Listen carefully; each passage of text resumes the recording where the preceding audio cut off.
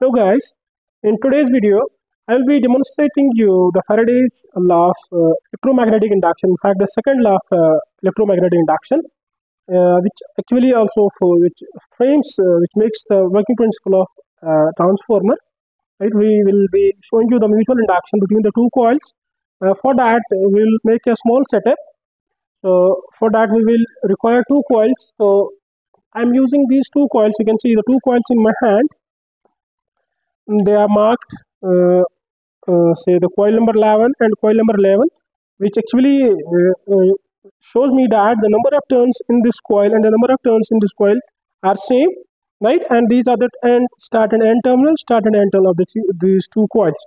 So for that what i will do i will energize any of the any one of the coil by this ac source by some uh, voltage which we will be monitoring using this voltmeter so let's start the experiment. So you can see you can see i'm energizing this by a phase and a neutral. Depending upon the amount of voltage i'll be fixing by using this regulator i'll be energizing this coil. You can see i will be energizing this coil by this ac source. I will be connecting phase at one terminal and neutral at other terminal. Now you can see i will be turning on this mcb and for monitoring this voltage by which I am energizing this winding I'll be connecting a voltmeter across this. So you can see right now the magnitude of voltage is 4 volts uh, let, let me increase it to 5 volts. You can see the voltage is increasing. So it has reached say almost 5.32 volts right? Now you can see in my hand I am having the coil another coil it's having number of turns uh, the same as uh, this coil. So what I will do first I will connect another voltmeter across this coil and see the amount of voltage induced in this coil depending upon the amount of flux linkage. You can see I'm exciting this coil.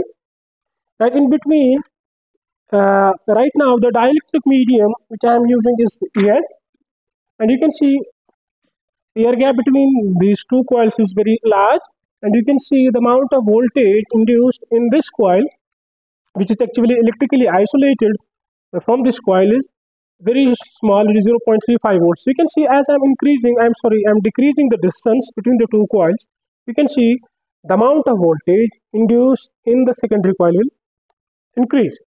And you can see i am decreasing the distance you can see the voltage is increasing you can see the voltage is increasing you can see the voltage is increasing right now if i am if i'm overlapping these two coils you can see now the flux uh, you, uh, you can see the flux linking with this secondary coil will be now increasing. You can see accordingly the rate of change of flux is increasing. You can see the induced voltage in this secondary coil has right now reached to 1.57 volts corresponding to this 5.3 volts. But you can see the number of turns in these two coils are the same exactly if I'm using an iron core which will fill this air gap right? So the coupling will be efficient and you can see that the voltage induced in the secondary coil will increase. So for that what I will do I have these iron tips in my bar in my hand. So what I will do I will try to fill this air gap by these iron bars. You can see you can see the voltage without this iron bar was initially 1.56 volts. As I am filling this air gap you can see the permeability of this iron material is higher as compared to the air. You can see the voltage has reached 3.57 volts. As as I am going to fill up as I am going to fill up you can see the voltage is increasing corresponding to this in constant input voltage 5.6 volts. So you can see I am filling this air gap. Now the voltage is 4 volts. I am filling this. You can see the voltage is increasing so what actually is happening, the flux linking with the coil secondary which was initially passed through air because of less permeability of the air that flux was getting leaked out and was not linking with the secondary coil as a result of which the induced voltage in the secondary winding was less. But as I am using now this core, I am filling this air gap, you can see the amount of voltage induced in the coil has increased right so this was all about how we can demonstrate the faraday's law of electromagnetic induction you can say the mutual induction between the two coils which actually upon which the work is follows the base uh, working principle of a transformer, right?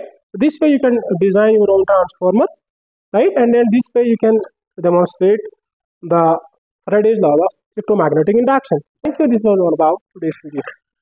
Thank you.